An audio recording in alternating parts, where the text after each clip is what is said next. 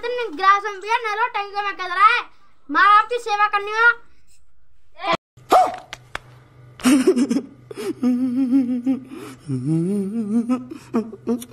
हो